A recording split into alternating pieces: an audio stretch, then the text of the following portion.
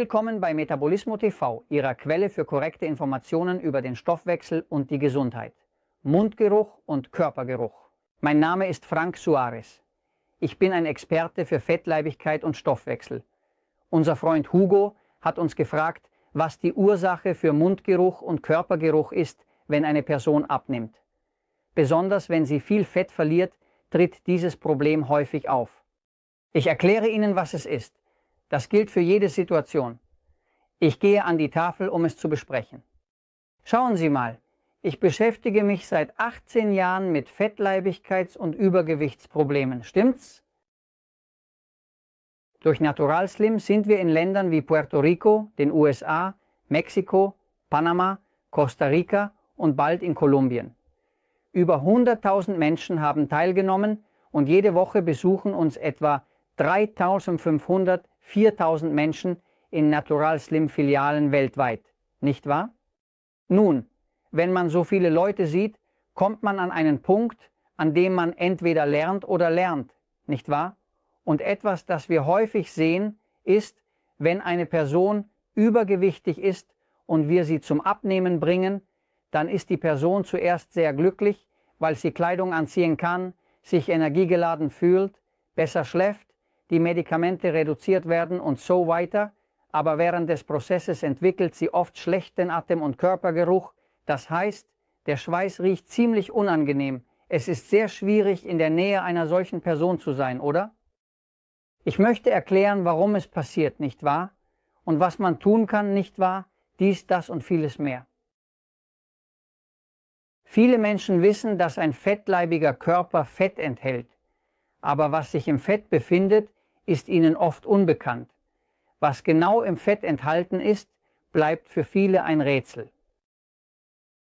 Der menschliche Körper ist ein optimaler Organismus, der Fett für zwei unterschiedliche Zwecke äußerst effizient nutzt. Körperfett hat zwei Zwecke. Ein Zweck von Fett ist die Energiespeicherung.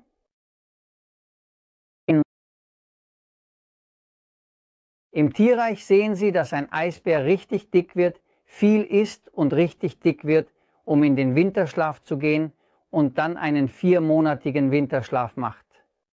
Nach vier Monaten wacht der Bär auf und ist schlank. Was hast du während dieser vier Monate gegessen, während du geschlafen hast, was so eine Art leichter Schlaf ist, oder?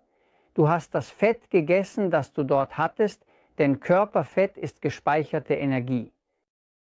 Der perfekte Weg für den menschlichen Körper, Energie zu speichern, ist Fett. Denn Fett speichert 9 Kalorien pro Gramm Fett, nicht wahr? Aber wenn es Kohlenhydrate wie Brot oder Mehl oder andere wären, oder wenn es Protein wäre, dann würden sie nur vier speichern. Bedeutet das, dass die effizienteste Art und Weise, wie der Körper Energie speichert, definitiv Fett ist? Verstehen Sie mich? Also wird Fett verwendet, um Energie zu speichern. Das heißt, wenn der Körper Fett ansammelt, speichert er Energie für Zeiten, in denen keine vorhanden ist, oder? Jetzt wurde ein weniger bekannter Grund für Fett entdeckt. Fett dient nicht nur als Energiequelle, sondern auch als Isolator. Es schützt vor Kälte und Giftstoffen, indem es isoliert. Diese Entdeckung eröffnet neue Perspektiven für die Verwendung von Fett in verschiedenen Bereichen. Zum Beispiel sind die fettreichsten Fische diejenigen, die im Meer leben. Diese Fische, die am Meeresboden leben, haben deutlich mehr Fett als die Fische, die an der Oberfläche des Meeres wachsen oder schwimmen. Je tiefer die Entfernung im Meer ist, desto fettreicher ist der Fisch. Das liegt daran, dass das Wasser in größeren Tiefen kälter ist und der Fisch durch das Fett besser vor der Kälte geschützt ist. Fett fungiert als Isolator, indem es dem Körper eine Möglichkeit bietet, sich vor der Kälte zu schützen. Das bedeutet, dass ein Tier am Nordpol, wenn es gut fett ist und viel Fett hat, einen ganzen Fettmantel hat, der die Kälte nicht so sehr beeinflusst. Also ist Fett ein Isolator. Nun abgesehen davon, dass Fett ein Isolator ist, isoliert Fett auch vor Giftstoffen. Etwas, das entdeckt wurde, wurde im Jahr 1972 entdeckt. Im Jahr 1972 wurden Autopsiestudien durchgeführt, bei denen Autopsien an Leichen durchgeführt wurden und in einer Leiche, einem toten Körper, Substanzen im Fett gefunden wurden, Giftstoffe in diesem Fett von etwas, das die Person 30 Jahre zuvor eingenommen hatte. Bedeutet das, dass der Körper Giftstoffe ansammelt, egal welches Gift für den Körper giftig ist, eine der Strategien des menschlichen Körpers, um sich vor einem Gift zu schützen, besteht darin, dass der Körper versucht, es über den Urin, den Schweiß, die Ausscheidung oder auf irgendeine Weise herauszubringen, und wenn er es nicht herausbekommt, ist die letzte Alternative des Körpers, Fett darum herum anzusammeln. Fett umhüllt und schützt ihn, indem es sich um ihn herum aufbaut und ihn einschließt. Bedeutet das, dass das Körperfett von uns allen tatsächlich mit Giftstoffen gefüllt ist. Zum Beispiel ist das Fett im Bauchbereich kein weißes Fett, sondern gelbes Fett. Das überschüssige Fett an den Armen ist weißes Fett bei einer Autopsie sichtbar. Warum ist diese gelb und diese weiß? Nun, weil das hier das gefährlichste Fett ist. Ist es nicht das sofortige Fett, das der Körper verwendet, um einzukapseln? Eine Person, die unter schwerer Fettleibigkeit leidet, wird neben dem Übergewicht auch einen Überschuss an Giftstoffen haben. Giftstoffen, okay? Zum Beispiel hat eine Person Amalgam, Quecksilber in den Füllungen im Mund.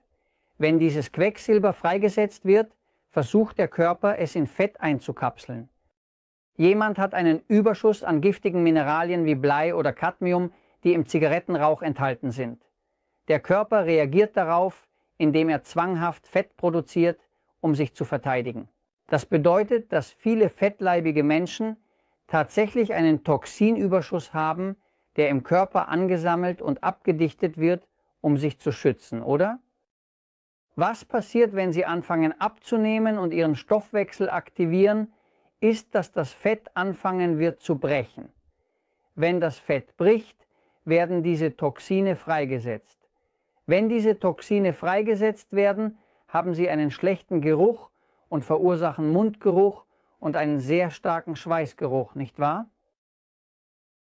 Also ist im Grunde genommen viel von dem übelriechenden Schweiß mit schlechtem Geruch und so weiter entweder vom Atem oder einfach, weil zu viele Giftstoffe im Körper sind.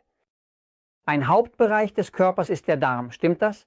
Der Darm beherbergt eine gute Bakterie namens Darmflora. Viele Menschen, die über Jahre Antibiotika eingenommen haben, verlieren ihre Darmflora. Der Körper nutzt sie hauptsächlich zur Reinigung der Darmwände. Ohne Darmflora durch Antibiotika kann keine Reinigung mehr stattfinden. Dies führt zu schlechtem Geruch und anderen Symptomen. Jetzt was tun?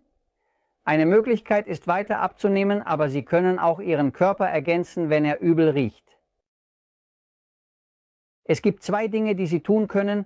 Eines ist Backpulver, das als eines der Episoden, die ich Ihnen erzähle, verwendet wird, das in einer anderen Episode sogar für Krebs verwendet wird, nicht wahr? Sie können es mit Wasser verwenden und es neigt dazu, diese schlechten Gerüche, diese Giftstoffe zu neutralisieren. Das andere ist Chlorophyll, das grüne Chlorophyll, eine grüne Flüssigkeit, die den Pflanzen entzogen wird. Pflanzen sind grün aufgrund des Chlorophylls. Chlorophyll kann flüssig oder in Kapseln erhältlich sein.